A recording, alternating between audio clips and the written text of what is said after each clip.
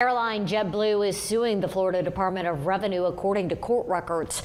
The Leon County Civil Court filing is over corporate income taxes.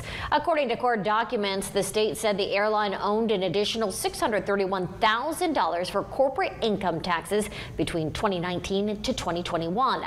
JetBlue claims this is incorrect, claiming the state calculated the tax on a larger area than Florida's actual geographical borders.